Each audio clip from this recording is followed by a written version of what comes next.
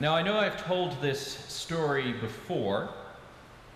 I looked it up. It was uh, during Epiphany in 2017.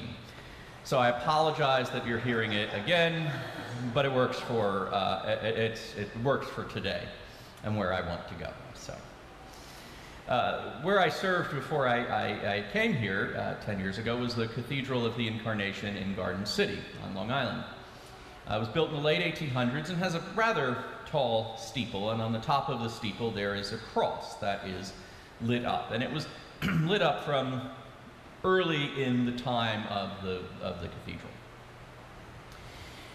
The problem was that Long Island wasn't really developed uh, in the early 19 in the early 1900s, and the, the cathedral is eight miles from the shore.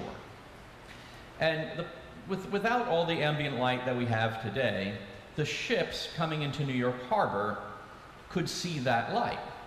And they thought that was where the shore was. The problem was, as I said, eight miles inland. So the department of whomever or whatever went to the cathedral and said, could you turn out your light, please? Uh, because we don't want any ships to run aground. And we're putting in a new lighthouse, and once that that's in, we'll let you know. So they put in lighthouses and, and, and beacons or whatever to get ships into New York Harbor, and the cathedral could put their light back on. And that they did. And then during World War II, during World War II, when everybody else was told to turn off their lights and pull their blinds, uh, the cathedral was told, please leave the cross lit. because Mitchel Field was just a couple miles down, down the road, and Mitchel Field was an air base, and soldiers were returning home, particularly wounded soldiers, and the, the cross, they, uh, the pilots could see it lit up, and they knew to aim for the cross, and then they'd find Mitchel Field. So they were told to leave their, their light on as a, a beacon to guide people home. I mention this story today because light has something to do with our second lesson, the epistle to uh, the epistle of James. And it, it was a passing line at the very beginning, but it gets at the heart, I think, of what James was, was writing about. This lesson, by the way, used to be read on um, Thanksgiving uh, for just long in the, uh, the, the, sign for Thanksgiving Day. Uh, and in 2007, when we switched to the Revised Common Lectionary, they got rid of this lesson, just one of the things that went with that lectionary change. Uh, but great lesson, um, as, it, as it is, a wonderful passage from, from the epistles. Anyway, that's an aside. Um, you can see where I stand on that one. It's like my All Saints Day rant, which you get every once in a while when we got rid of the let us now sing praises of our ancestors and their generations, but an aside.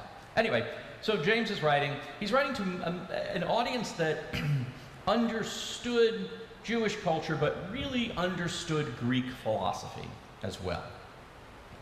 And so he, James begins the lesson referring to God as the Father of lights. And he, and he, and he refers to him as the source of all goodness, the source of all that, that comes to us. Every generous act of giving, every perfect gift is from above, is, is from the source, from the Father of lights. Now, you need to try to remember back to your intro to philosophy days if you were a liberal arts major and had to take a philosophy class. And you'll remember Plato's cave. I see a few nods that you know Plato's cave. And what you'll remember from that, or what you might learn from that, is that the idea is that there is a cave, right? And somebody is looking into the cave, and they see shadows on the cave, cave wall. And what, that's why I shouldn't move around. I'm good, by the way. um, you see shadows on the cave, the cave wall. And the idea is that the, the, the, the shadows are caused by the light that is behind the beings. And the light is the source of all. Now, in philosophy, we talk, in Greek philosophy, they speak about the, the source of all being. They'll, they'll, refer, they'll call that source light or good or some idea or value or virtue. But the idea is that this is the source of all being and that we as humanity reflect the source of all being.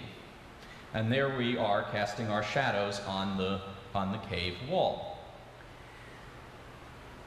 And, base, and, and then our understanding is that as the shadows are in different sizes, has to do with how much of the source is impacting us.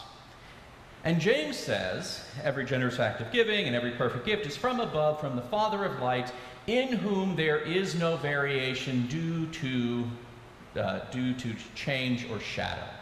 Meaning that, that we, there is no differentiation in our status of how much goodness God gives us. That we are all equally created good. That this Father of lights shines through us is given to us, that source of being, that goodness in creation is given to us equally that God loves us all equally. That's what James is, is saying, saying right there the, in the very beginning. Which flips on the head the Greek understanding of the shadows and the variations due to change, of how much is reflected from the person. The other thing that James does is, oh, by the way, we sang this in our, in our opening hymn, uh, in the third, third verse of our opening hymn um, uh, to all life thou givest to both great and small. Uh, that, that verse, verse there.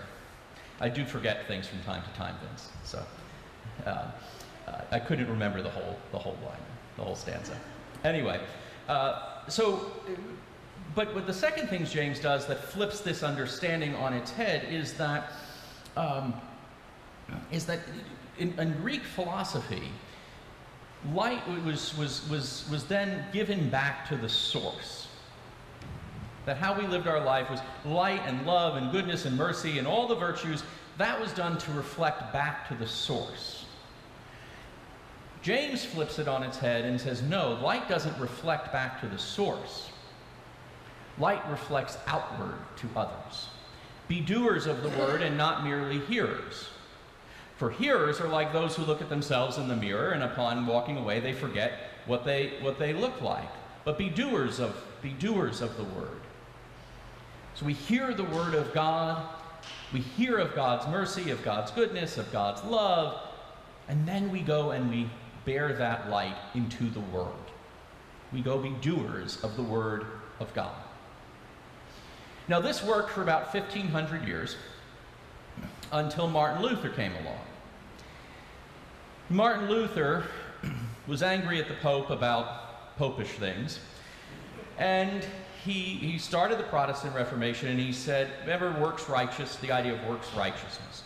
So Luther calls the Epistle of James, which is a great epistle, he calls it an epistle of straw. Because he says it's speaking about works righteousness, this idea that that it takes works to get into heaven. And Calvin then comes along. Calvin, we know, is a little more stringent than Luther. Calvin comes along and actually says Luther's wrong. And other scholars have said Luther is wrong. He was so angry at the Pope about this and that the Roman Catholic Church was using this as an example for doing good works that he, he dismissed this letter. Calvin actually uses it as inspiration. Calvin, who is a French refugee living in Geneva, starts in Geneva. He starts in Geneva uh, hospitals and uh, schools and institutions for, to, that care for the neediest, saying that, that we are supposed to be doers of the Word of God. That we are to hear about the love and the light and the grace and the mercy of God, and then we are to do that. We are to act that way. We are to reflect that light to others, most particularly to the neediest. What James called, what James calls the widows and orphans.